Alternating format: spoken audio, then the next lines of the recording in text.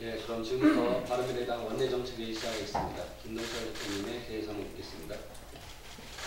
네, 오늘은 문재인 정부 출범 어, 1주년이기 때문에 아마 의원님들께서 다들 하실 말씀이 좀 많으신 것 같습니다. 저도 좀 문재인 대통령께 그리고 민주당에 할 말이 좀 많습니다. 문재인 정부가 집권 2년 차에 접어들었습니다. 지난 1년 남북 정상회담을 통한 한반도 평화의 기반을 마련한 것 외에 이렇다 할 국정운영 성과는 찾아볼 수 없습니다. 인기에 집착한 국정운영, 소통과 협치의 실종, 비대한 청와대에 의한 만기칠락, 인사 실패, 무엇보다 경제와 민생에 있어서 최악의 무능을 드러내므로써 국정 전반이 총체적 실패의 길로 치닫고 있을 뿐입니다. 첫째, 문재인 정부는 지난 1년 내내 인기에 집착하고 지지율에 취했습니다.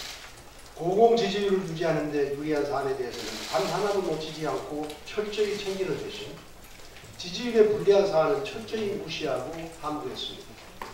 분명히 말씀드리지만 지지율은 해가 뜨면 흔적도 없이 사라지는 이슬과도 같습니다. 그래서 인기와 지지율에만 집착하는 국정 운영은 위험할 뿐만 아니라 실패할 수밖에 없습니다.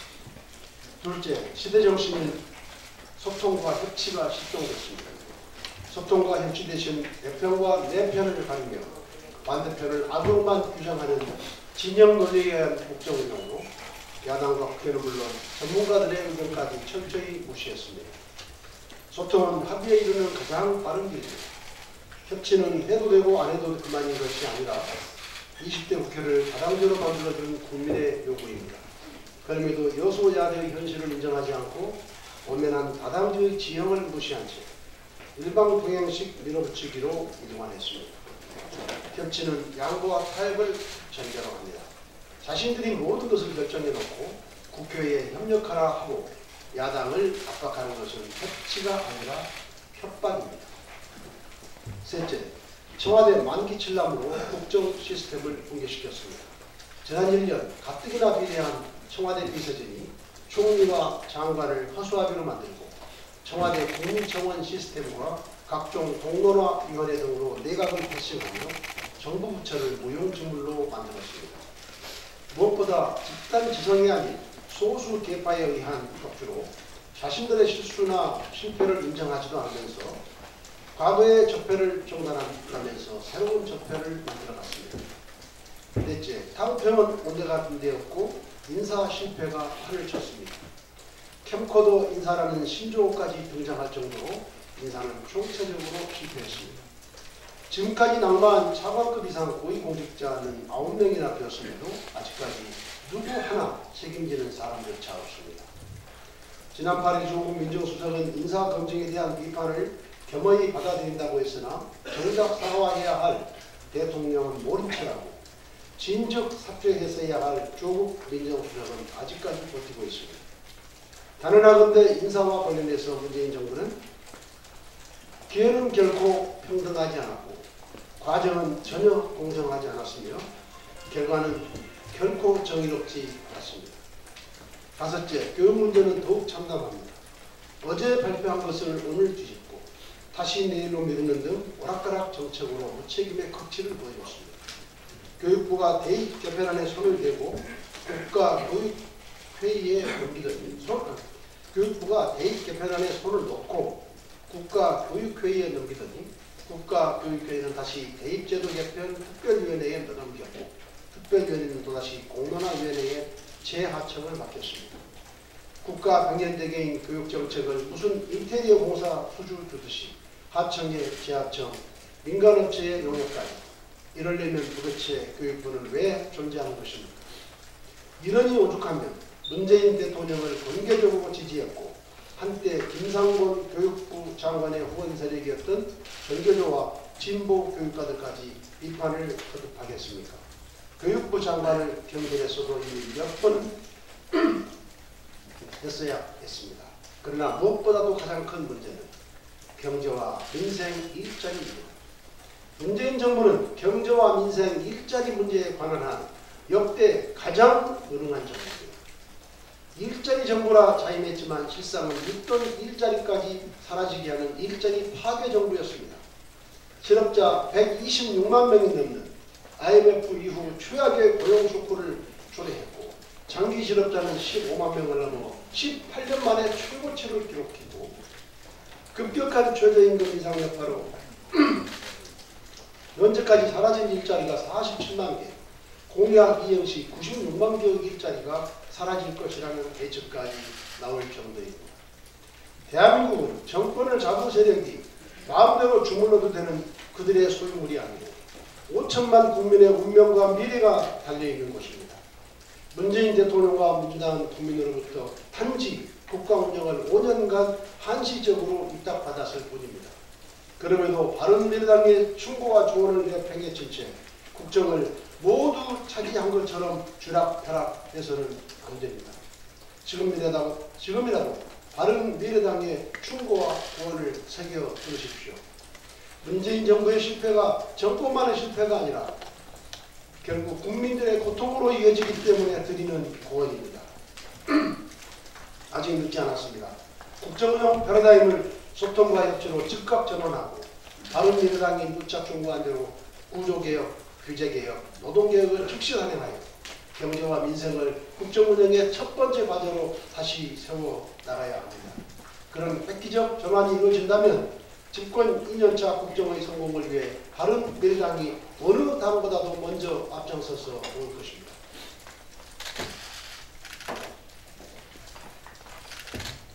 추미애 민주당 대표가 어제 여야 협상 대결을 야당 탓으로 돌리면서 수많은, 수많은 인터넷 댓글 조작, 윗꼬라지 다 빼놓고 드루킹 하나로 전쟁을 유발하는 것이 야당의 속내라고 했습니다. 이런 궤변이 없고 번발 전도도 이루어집니다. 그러면 미꾸라지 한 마리의 인사청탁에 청와대는 왜 민정 비서관까지 나서서 전결된 것입니까? 청와대가 미꾸라지 한 마리에 놀아나는 그런 것입니까? 국민 앞에서 진실을 호도하지 말고 대통령과 민주당이 개혁하다면 앞장서서 특검을 주장하면 그만입니다. 댓글 여론조작 의혹은 양파 껍질 벗기듯이 계속 나오고 있습니다.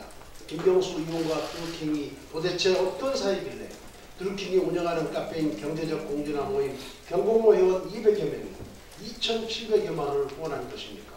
시기도 대선을 앞둔 2016년 11월입니다. 드루킹 입당 대선 7개월 전인 2016년 10월부터 올해 3월까지 9만여 건의 기사에 댓글 공작을 했습니다. 하루 평균 160건이 넘는 기사에 조작을 한 것인데 이 정도면 주요 기사 모두를 조작 대상으로 삼은 것입니다. 드루킹은 또 올해 1월 17일, 18일 이틀, 이틀 동안 매크로를 이용해 기사 676건에 달린 댓글 2만여 건에 210만회가 넘는 부정 클릭 활동으로 여론을 조작했습니다. 이틀간 210만 회면 수천만, 수억 회도 가능하다는 뜻이 아닙니까? 하루에만 수백만 건을 조작할 수 있는 드루킹이 대선 이전부터 개입했다면 선거에 미치는 영향이 어떠했을 것인가 하는 것은 짐작하기가 어렵지 않습니다. 무엇보다 이 사건의 본질은 문재인 대통령과 대통령의 최측근 복심인 김경수 의원 그리고 집권 여당이 관련되어 있다는 것입니다. 그래서 검찰과 경찰이 권력 눈치 보기에만 급급합니다. 경찰은 김경수 의원을 참고인으로 조사만 했을 뿐 수사의 기본 중에 기본인 휴대폰 압수수색, 계좌 압수수색도 하지 않았고 검찰은 아예 이동도 하지 않고 있습니다.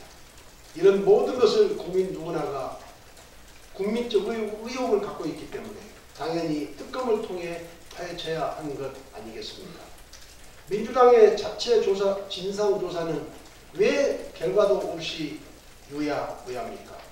지난 대선 당시 발생한 국민의당의 문준용 의혹 조작 사건과 관련해 국민의당이 얼마나 철저하게 자체 진상 조사를 했는지 단 한 번이라도 들여다본 적이 있습니까?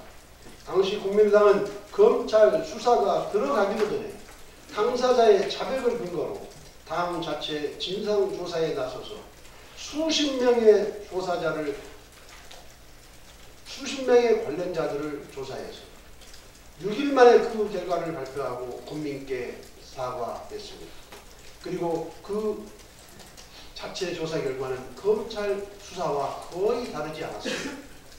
민주당은 보여주기식 쇼에 그칠 것이 아니라 바른 미래당에게서 배워야 합니다. 바른 미래당은 특검과 함께 국회 정상화에 대해서 수도 없이 얘기했습니다.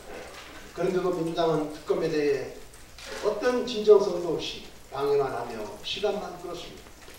특검을 피하고 싶고 피하고 싶어 추경도 내팽개쳤고 인생 국회도 걷어찬 것 아닙니까? 민주당은 청와대 눈치만 보는 무능에서 벗어나 당당하고 떳떳하게 특검을 수용하고 민생 국회에 매진할 것을 촉구합니다. 예, 다음은 지상훈 정책위원장님 분석을 하겠습니다. 예, 문재인 정부 출범한 지 1년이 되는 날입니다. 우리 원내대표님께서 자세하게 설명해 주셨기 때문에 중복되는 부분을 좀 피해서 말씀드리겠습니다. 80% 언저리 높은 지지를 받고 있습니다. 그런데 국민들에게는 1년 전보다 살림살이가 나아졌다고 말하는 분들은 거의 없습니다. 문재인 정부의 일자리 경제 정책은 지금까지 완전한 실패입니다. 지옥으로 가는 길은 선의로 포장되어 있다라는 서양 격언이 떠오릅니다. 소득 주도성 성장, 미사역으로 가득 차 있지만 임금 상승을 부르고 경제를 성장시키는데 실패했습니다. 일자리 지표는 IMF 시절로 되돌아가고 있습니다. 거시경제 지표는 2008년 금융위기 시절로 되돌아갑니다. 통계청이 발표한 3월 산업활동 동향에 따르면 제조율, 제조업 가동률이 70.3%에 그쳤습니다. 글로벌 경제가 호황을 누리고 있는데 우- 우리나라만 유독 성장과 투자가 위축되고 있습니다.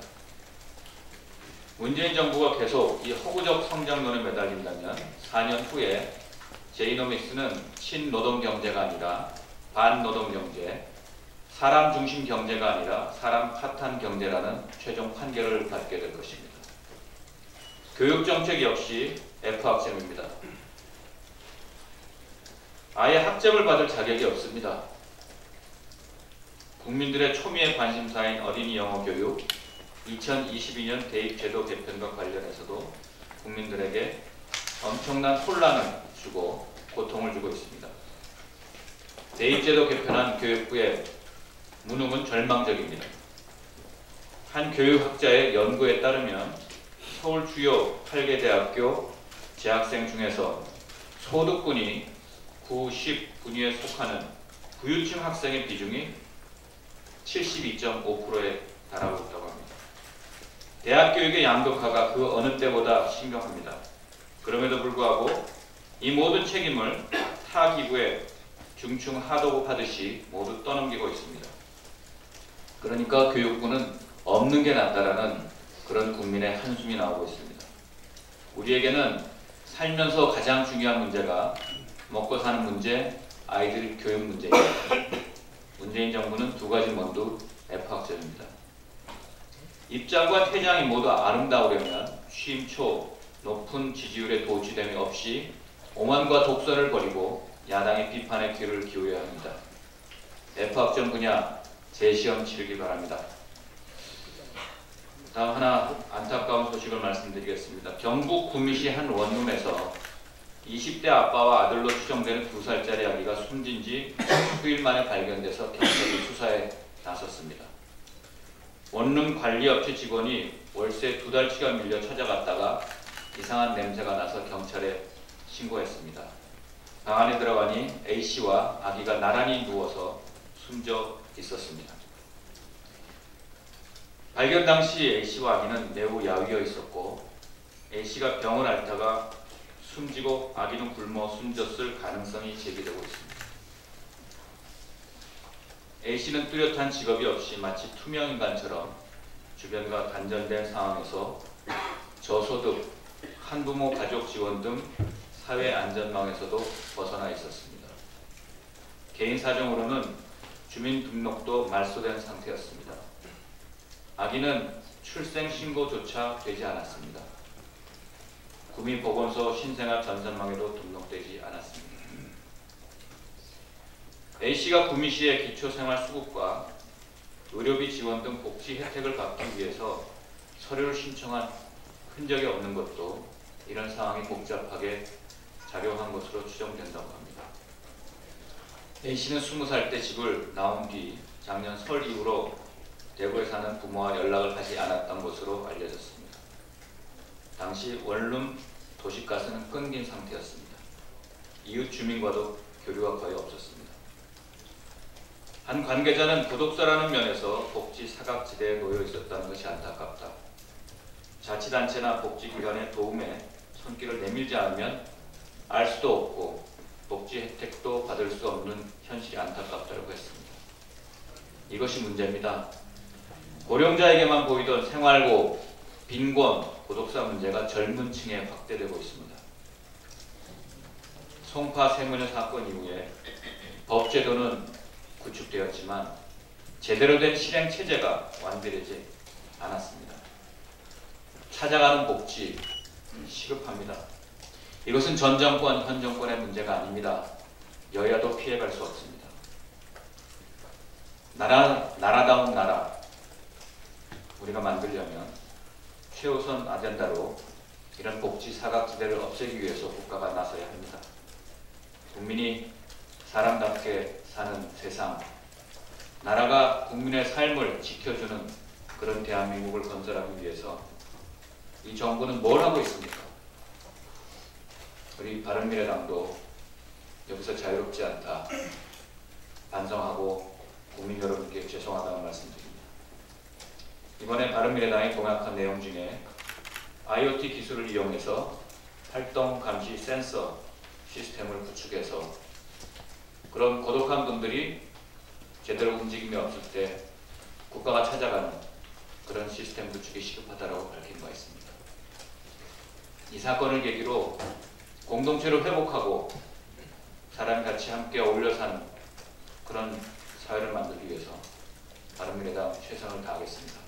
국민 여러분께 죄송합니다. 다음은 오신환 수 원내 수석 대표를 발언하겠습니다. 예, 시간이 가긴 갑니다. 드디어 문재인 정부 1년이 지났습니다.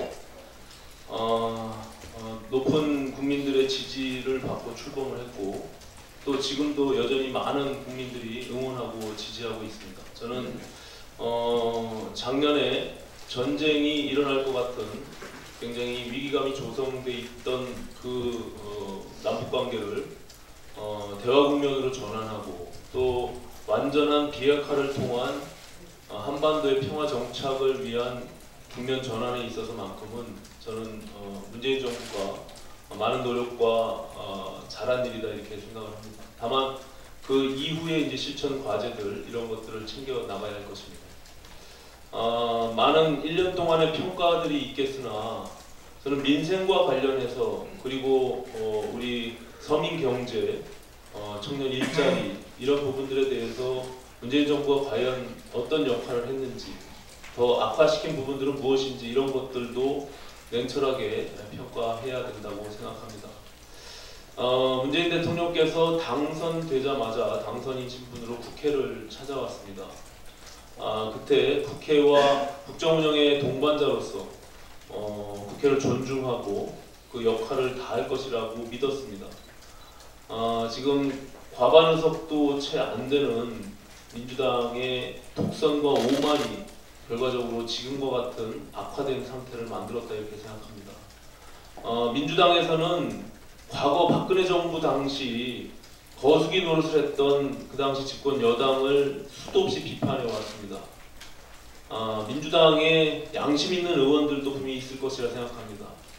청와대와 다른 목소리를 낸 의원이 단 한 명이라도 있었는지, 잘못된 것을 잘못됐다고 지적한 의원들이 있었는지, 저는 집권 여당의 민주당의 책임이 그 무엇보다 중요하다고 생각합니다. 아, 청와대가 이렇게 오만하고 독선을 가질 수밖에 없었던 그 이유 중에 하나는 민주당의 에, 책임도 매우 크다고 생각합니다. 이런 점에서 저는 지금의 이 꽉 막혀 있는 어, 국회 상황들을 민주당이 자초한 부분들이 분명히 있다 이렇게 생각합니다. 아, 어제 추미애 당 대표의 지금의 국회 상황들 그리고 불법 댓글 조작 사건들을 바라보는 인식 자체가 저는 너무나 오만하고 어, 어, 국회 야당을 전혀 어, 인정하지 않는 그런 어, 발언을 했다 이렇게 생각을 합니다. 그렇기 때문에 어제 에, 야 3당의 원내 수석들이 정론관에서 어, 특검을 정상적인 특검을 수용하고 이후 국회를 정상화해서 어, 민생을 살펴야 된다라는 촉구 성명을 발표한 바가 있음에도 불구하고 일체의 에, 민주당의 접촉이나 어, 협상 시도들을 받지 못했습니다. 아, 저희는 어, 계속해서 협상에 응하면서 국회 정상화를 위한 노력을 할 것입니다. 아, 민주당은 어, 이 부분에 대해서 무한 책임을 갖고 있는 어, 집권 여당으로서 어, 다시금 자세를 전환하고 어, 야당의 목소리에 귀를 기울이며 함께 이 어려운 상황들을 돌파해 나가야 될 것입니다. 어, 오늘도 어, 기다리겠습니다. 어, 일체의 연락도 없고 또 본인들의 어, 원 원내대표 선거에 매몰돼서 민생을 걷어차고 또 특검도 거부하면서 어, 추경까지 본인들이 그렇게 애타게 바랬던 추경까지 버려가면서 이 부분을 막으려고 하는 그 의도가 무엇인지 그리고 들킨과 김경수와 관련된 내용들이 속속들이 지금 드러나고 있습니다. 이런 부분들에 대해서 진상 규명을 명확하게 해서 잘못된 어, 이 신뢰가 무너진 이런 부분들에 대해서 바로잡아야 함에도 불구하고 그렇지 못한 것에 대해서 민주당은 각성하고 반드시 국회 정상화를 위한 노력을 해주시기를 다시 한번 촉구하는 바입니다. 다음은 김종로 최고위원님 발언 듣겠습니다. 북미 회담을 앞두고 동북아의 주요 국가들의 정상들이 숨가쁘게 움직이고 있습니다. 어제도 한중일 정상은 함께 모여서 판문점 선언에 대한 지지와 그리고 삼국이 동북아 평화를 위해 노력하겠다는 특별 성명까지 발표를 했습니다. 이런 가운데 지난 주말에는 첫 정상회담 이후 40일 만에 김정은 국무위원장과 시진핑 중국 주석이 다른에서 두 번째 정상회담을 갖고 양국의 관계를 입술과 입을 뜻하는 순치에 비유하며 북미 정상회담 앞두 공동 정상회담을 구축하기도 했습니다. 이런 가운데 미국 폼페이오 국무장관도 두 번째로 북한을 방문해서 억류자 귀환 문제 등 곧 실시될 정상회담 준비에 심혈을 기울이는 등 그야말로 세계 열강들이 각자의 개장법에 따라서 주도권과 국익을 위해 무한 경쟁하는 소리 없는 외교 전쟁이 펼쳐지고 있습니다. 정부의 거듭 촉구합니다. 아직 진정한 한반도의 평화를 확신할 만한 어떠한 조치도 취해지지 않았습니다. 이제부터 시작이라고 생각합니다. 이러한 급박한 상황 속에도 정부가 분명히 연대돼야 할 것이 있습니다. 손만 뻗으면 잡힐 것 같은 평화라는 달콤한 유혹에 빠져서는 결코 안 될 것입니다.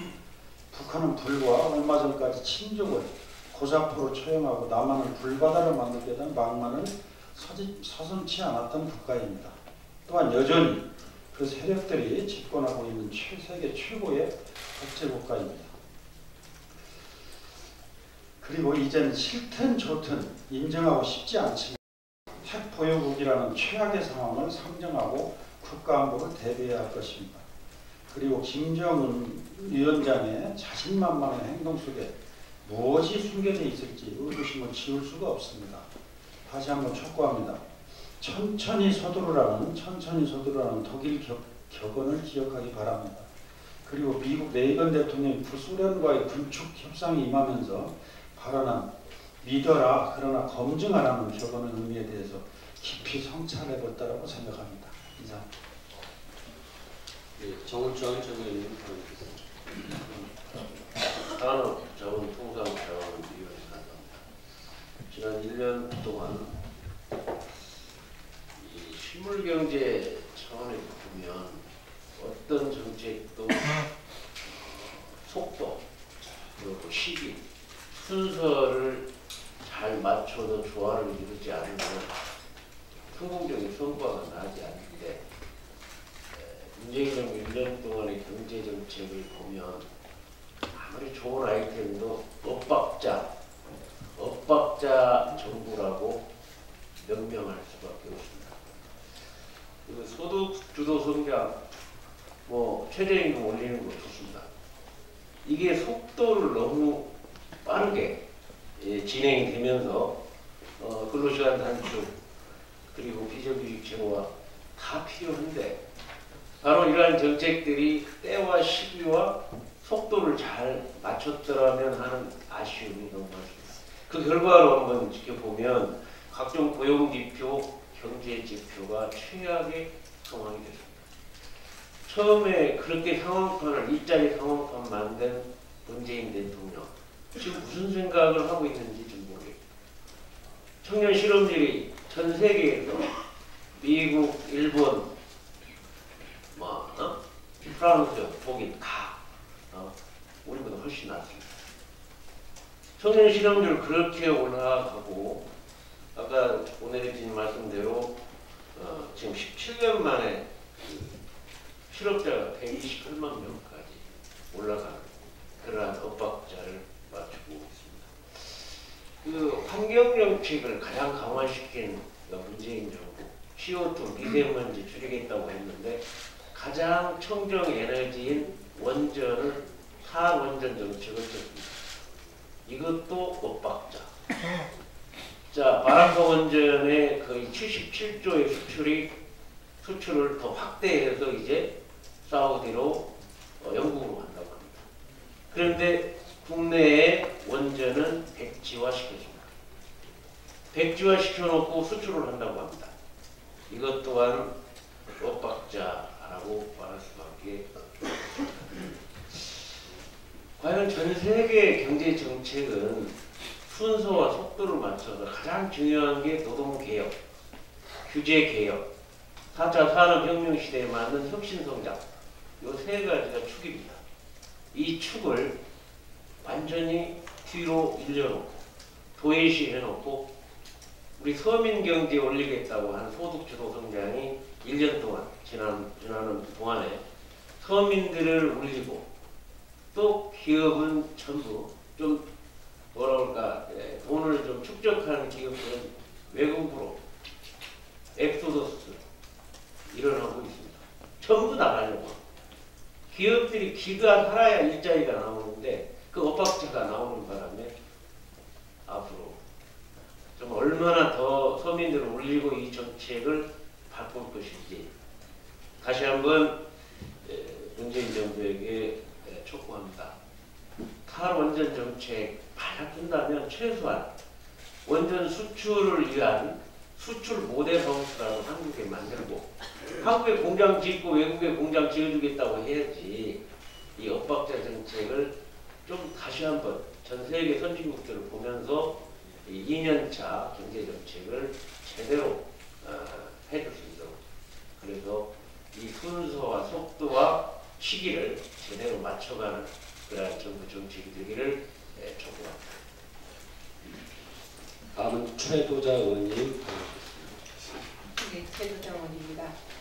오늘은 유권자의 날입니다. 국민이 주권을 행사하는 민주주의의 꽃, 선거의 의미를 되새기는 날입니다. 하지만 지방, 지방선거를 한 달여 남겨놓고 인물과 정책은 실종되고 오직 청와대와 국회 파행만 더해지고 있습니다. 민주당과 한국당이 지방자치단체장과 지방의회를 나눠먹게 하는 동안 피부로 느끼는 생활정치는 뒷전으로 밀려났습니다. 주민이 체감할 수 있는 정책으로 승부하는 선거가 절실하며 그런 의미에서 이번 지방선거 당선자들이 실행해야 할 정책 제안을 하고자 합니다. 복지부의 노인 보건복지 사업 안내 지침에는 2층 이상에 있는 경로당은 1층으로 이전하거나 이용에 불편함이 없도록 엘리베이터와 같은 어, 편의시설을 설치하도록 안내하고 있습니다. 그런데 저희 의원실에서 조사한 결과 전국 경로당 6만 5천여 곳 가운데 지하와 2층 이상의 위치에 노인들의 접근이 불편한 곳은 4,486곳으로 조사됐습니다. 특히 이들 경로당 가운데 엘리베이터가 설치된 곳은 450곳에 그쳐 10곳 중 9곳은 어르신들이 직접 걸어 올라가셔야 하는 상황입니다. 경로당을 관리하는 지자체들의 관심과 지원이 절실한 실정입니다. 지방선거는 우리 동네 일꾼을 뽑는 선거입니다. 바른미래당은 어르신들의 경로당 출입이 편한 환경을 만들고자 합니다. 생활 속 작은 것부터 해결하는 일, 우리 바른미래당이 맡겠습니다. 이상입니다. 다음은 오세정 의원님 발언하겠습니다. 예, 어제 그 네이버가 발표한 뉴스와 댓글 개선 정책에 대해서 말씀드리겠습니다. 어제 네이버의 발표한 개선 대책은 크게 다섯 가지로 모바일 홈페이지 첨성에서 뉴스와 실시간 급상승 검색을 빼겠다. 두 번째로는 화면에서 언론사가 편집한 뉴스와 AI가 추출한 뉴스를 제공하겠다. 아, 세 번, 아, 구글식 outlink 도입을 추진하겠다. 매크로 및 댓글 정책과 시선 개편하겠다. 선거 기간 동안에 정치 선거의 댓글을 최신순 하겠다고 했습니다. 이러한 네이버의 대책에 대해서 결론부터 말씀드리면 그럴싸하게 포장은 했지만 후원만 좋다라고 말씀드릴 수 있겠습니다. 왜냐하면 문제 핵심은 교묘하게 피해가면서 그럴싸한 말로 디테일은 철저하게 감추고 있기 때문입니다. 우선 네이버의 대책은 PC 버전에서 구현하고 있는 기능을 모바일에 적용하는 수, 수준입니다. 이는 드루킹 사건에 대한 개선책이라기보다 기존에 예정된 모바일 업데이트를 그럴싸하게 포장한 것이라고 보아야 할 것입니다. 두 번째, 쟁점이 되는 outlink와 관련해서도 전틀을 열어주는 것처럼 네이버가 빠져나간 명분과 구조를 만들어주는 것을 보입니다. 제가 생각하기에는 구글처럼 완전한 outlink 방식 시연을 선호합니다.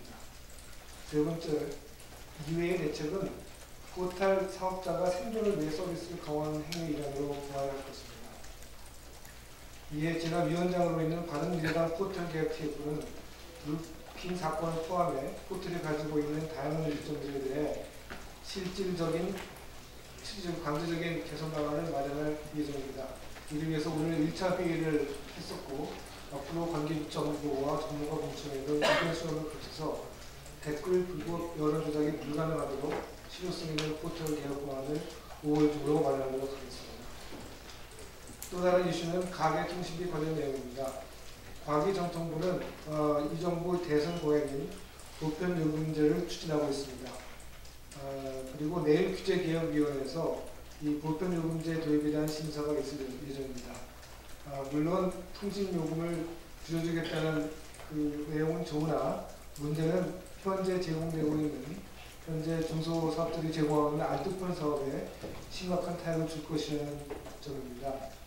이 보, 보편요금제 주요 내용은 월 2만 원대 요금에 음성 200분, 데이터 1기가의 사용량을 제공하자는 것입니다. 사실 이 같은 요금제는 이미 알뜰폰에서 제공 중입니다. 아, 그렇기 때문에 이러한 보편 요금제 도입은 알뜰폰에 심각한 타격이 될 것입니다. 왜냐하면 동일한 요금과 서비스 제공량에 관해서는 멤버십과 가족 할인 등 부가 서비스가 우수한 이동통신사를 선택할 수밖에 없기 때문입니다. 이는 중소사업자를 죽이고, 죽이고 3대 아, 대규모 사업자를 아, 사- 가업자를 늘려주는 그런 결과가 될 것입니다. 아, 이에 대해서 저희들은 보완책으로 아, 알뜰폰과 이동통신 간의 결합 상품이 출시되도록 할 필요가 있다는 말씀을 드립니다. 이 동일망을 사용하는 알뜰폰과 이동통신 회선 간의 결합 서비스가 지원되면 현재 이동통신과 알뜰폰을 각각 사용하는 이용자에게 추가적인 요금 할인을 제공할 수 있습니다. 또한 이러한 결합석과 연계해서 데이터 선물하기, 부가 서비스 등 알뜰폰 이동통신 회선과 활성화 등을 통해 국민들의 데이터 이용 조감에 더욱 기여하는 방안도 마련할 예정입니다. 이를 위해서 정기통신사업법 개정안을 마- 입안 중에 있으며 각계 의견을 마련하여 곧 법안을 발의할 예정입니다. 이상입니다. 다음은 하태경 최고위원님 발언하겠습니다. 예, 저도 문재인 정부 1주년 관련해서 먼저 한 말씀 드리겠습니다. 문재인 정부 1주년 최대 실책은 일자리 자, 최대 실 다시 하겠습니다. 문재인 정부 1주년 최대 실책은 일자리 창출 정부가 아니라 일자리 퇴출 정부였다는 것입니다. 문재인 정부 1주년 노동 정책은 F 극장입니다. 이, 문 대통령은 일자리 상황판까지 만들어서 일자리를 챙기겠다고 했음에도 불구하고 그 결과는 일자리 퇴출, 일자리 소멸 밖에 없었습니다. 먼저 미국의 민간 경제 조사 기관인 컨퍼런스 보드의 조사 결과인데요. OECD 다른 회원국은 평균 고용이 증가하고 있습니다. 2016년 1.6%에서 2017년 1.9%로 꾸준히 증가하면서 우리나라만 감소 추세입니다. 2016년 1.2%, 2017년 1.1%, 2018년 0.8%로 어, 지금 추정이 되고 있습니다. 그리, 에, 이처럼 평균 고용 증가율이 하락함에 따라서 한국의 고용 증가율 순위에도 변, 큰 변동이 있습니다. 2014년에 123개국 중에서 46위였는데 2017년에는 82위였고 올해는 86위로 떨어질 전망입니다. 아, 고용 증가에서 점점 꼴찌로 달려가고 어, 있다는 것입니다. 그럼 일자리 퇴출의 가장 큰 원인은 뭐냐? 아, 언론과 전문가들은 세 가지를 보고 있습니다. 첫 번째 최저임금 과속 인상, 둘째 예, 공무원의 과도한 증원, 그리고 셋째 비정규직 제로 정책, 즉 비정규직의 무리한 정규직화. 아, 문재인 정부 2년 차를 맞아서 어, 무엇이 과연 일자리를 없애고 있는지 근본적인 성찰이 필요합니다. 그래서 남북 관계가 성과를 낸 것처럼 2년 차에는 일자리에 있어서도 퇴출 정부가 아닌 창출 정부가 되기를 희망을 합니다. 어제 두 가지만 더 말씀드리겠습니다. 어제 그 오늘인가요? 오늘이네요. 오늘 새벽이죠. 미국 어, 국적자 3명이 미국으로 돌아갔습니다. 아, 김정은 정권의 결단에 에, 환영을 보냅니다. 그리고 문재인 대통령이 4월 27일 정상회담 당시에 한국 국적자 6명, 억류된 한국 국적자 6명의 송환도 요구했다고 어, 언론에 나왔는데요. 제가 드리고 싶은 말씀은 억류된 한국 국적자가 억류된 한국민이 6명이 아니라 7명이라는 것입니다. 정부가 파악하지 못한 한 명이 있어서 제가 아, 말씀을 드리고자 합니다. 이분은 일단 가명을 쓰겠습니다. 최송민 기자라고 데일리 NK 북한 전문 보도 매체인 데일리 NK 기자고 탈북자 출신입니다. 탈북자 출신의 한국인인데요. 기존의 6명 중에 3명도 탈북자 출신입니다. 그리고 나머지 3명은 어, 원, 원 대한민국 국적자인데요. 최송민 기자가 아, 그 데일리 NK 동료 직원들과 가족들 증언에 따르면 최송민 기자는 2017년 5월 29일 에, 중국 길림성에서 어, 북한 국가 보위부에 의해서 유인 납치되었다고 어, 합니다. 아, 그래서 지금 어, 평양에 에, 있고요. 그래서 정부에 촉구합니다. 통일부는 즉각 북한 당국에 에, 최송민 기자 저한테 연락 오면 제가 본명을 알려드리겠습니다. 가족의 요청으로 본명은 지금 말씀드리지 못하고 있는데요. 어, 북한에 에, 있는지 신변 확인을 을 바로 하시고 어, 확실히 있습니다. 왜냐하면 중국에 없다고 하기 때문에 중국은 외교부 통해서 확인했는데 중국에는 없다고 합니다. 북한에 확실히 예, 있는데요. 그래서 북한 당국에 여섯 명이 아니라 일곱 명 억류자의 송환을 요구하셨으면 좋겠습니다. 그리고 어, 마지막으로 언론사 분들에게 좀 요청을 합니다.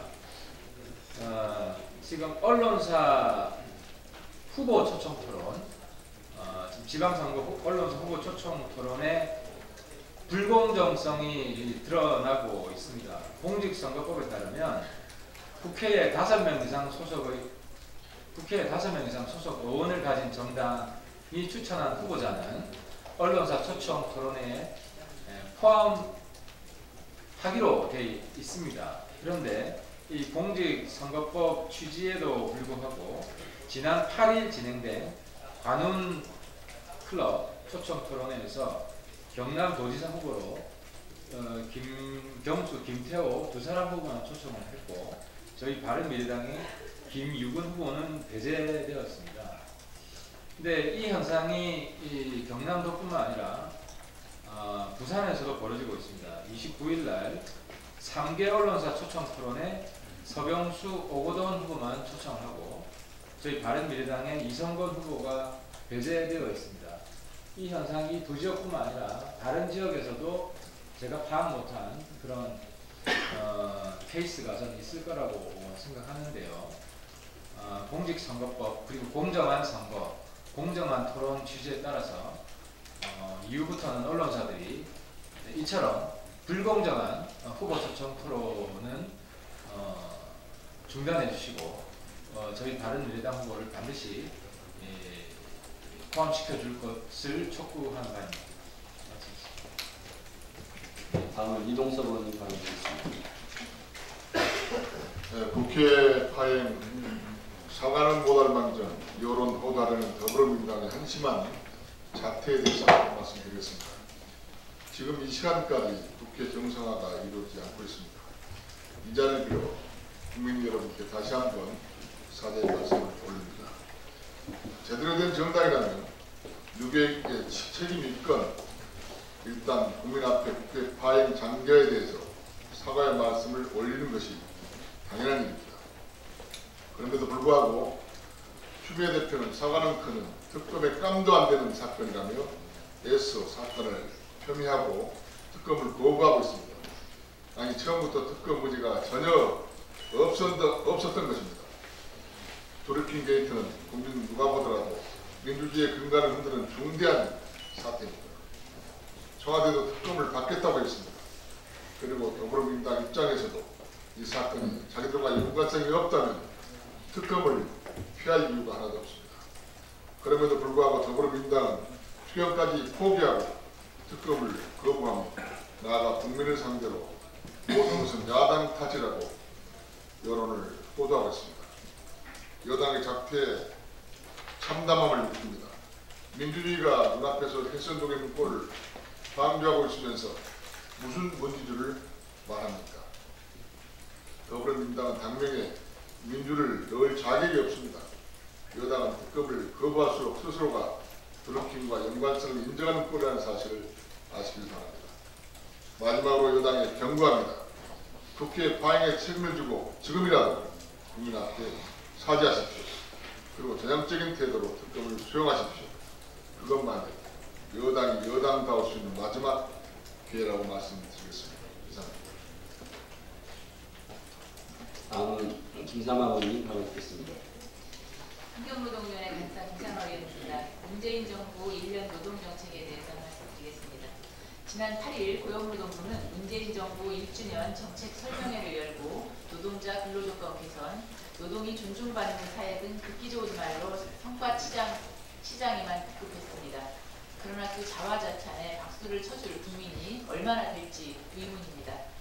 일자리 정부를 내세우며 청와대 일자리 상황판까지 내걸었지만 상황판에 실업률을 숫자는 4.5%로 17년 만에 최악입니다. 청년 실업률도 11.6%로 2000년 이래 최고치를 기록했습니다. 이쯤 되면 일자리 상황판이 아니라 실업 기록계입니다. 그러면서 여전히 막대한 혈세로 공무원 늘리기에만 고집을 하면서 어제도 오늘도 추경, 추경만 외치고 있습니다. 문재인 정부는 지난 1년을 냉철하게 돌아보고 노동정책을 완전히 전환하기 바랍니다. 위기의 신호는 무시한 채 추경만 바라보고 지지율의 환상에 빠져서 포퓰리즘 정책만 고집한다면 최악의 상황을 맞이하고 말 것입니다. 누차 강조하지만 일자리는 민간이 만듭니다. 과거의 낡은 규제를 과감히 완화하고 새로운 창의와 경쟁이 일어나는 산업 구조를 만들어야 합니다. 노동시장의 이중 구조를 근본적으로 바꾸는 노동개혁을 추진해야 합니다. 실업자의 천국이라고 불리던 프랑스는 마크롱 대통령이 이끈 노동개혁으로 지난해 가장 낮은 실업률을 나타냈고 미국의 실업률은 18년 만에 처음으로 4% 아래로 떨어졌습니다. 문재인 정부는 노동시장의 현실을 직시하기 바랍니다. 지난 1년의 노동정책은 청와대의 지지율 거품만 크게 만들었을 뿐 경영자에게도 노동자에게도 아무런 변화를 주지 못했습니다. 오히려 취약기업과 노동자들을 위기로 내몰지 않았습니까? 이제 자화자찬은 멈추고 진정으로 기업을 살리고 일자리가 늘어나는 변화를 만들어내기 바랍니다. 그러면 국민이 평가해 줄 것입니다. 이상입니다. 예, 신용현 의원님 발언 듣겠습니다. 어제 한 경공모 의 회원의 제보에 의해서 드루킹 일당이 지난 대선 당시 안철수 후보 지지율이 문재인 후보와 박빙이었던 시점에 안철수 조폭과 같은 허위 사실을 실시간 검색어 순위에 올리는 조직적인 여론 조작을 했음이 언론 보도를 통해 알려졌습니다. 제보자가 밝힌 내용에 따르면 마치 한 몸처럼 김 의원과 드루킹 등 경공모의 댓글 조작 활동이 조직적으로 일사불란하게 이루어졌다는 의심을 지울 수 없습니다. 또한 지난 대선 전 드루킹 일당의 댓글 조작 의심 기사만 9만 건이 넘는 것으로 확인이 되고 있습니다. 9만 건이 넘는 기사에 단 조직, 조직적 댓글로 안철수 후보에게 어떻게 악의적 프레임을 더 씌우고 얼마나 허위 비방으로 안철수 후보의 신뢰도를 갉아먹었는지 그 실태가 불보듯 뻔합니다. 이것이 민주당이 국회를 파행시키면서까지 특검을 회피하면서 감추려고 했던 현 정권의 민낯인지 묻고 싶습니다. 국민들은 진실을 알고 싶습니다. 민주당이 국민 편이라면 지금이라도 겸허히 특검에 나서야 할 것입니다.